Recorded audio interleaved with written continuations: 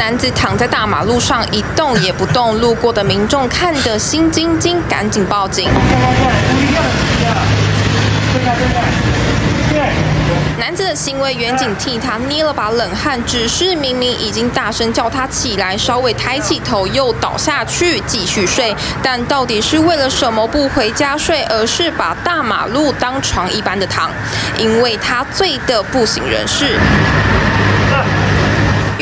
好大一番功夫，人终于醒过来，拉起他的手带离开现场。原来这名男子和朋友喝完酒，疑似喝太多不胜酒力，又忘记自己还在外面，先跑到附近的骑楼呼呼大睡，才跑到大马路上。只是这地点可是高速公路匝道口，就躺在高速中间，高速公路正路口，正路口。对对对。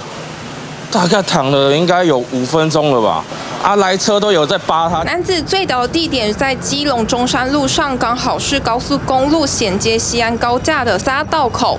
这里白天车流量大，尽管事发当下是凌晨十二点多，车流少，但视线昏暗。男子有一身黑，路过的驾驶都被吓到，紧急闪开。我们询问完民众，民众马上就醒来。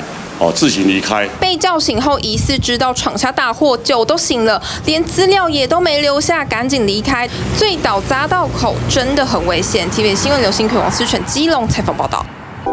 想看最完整的新闻内容，记得下载 TVBS 新闻网 APP。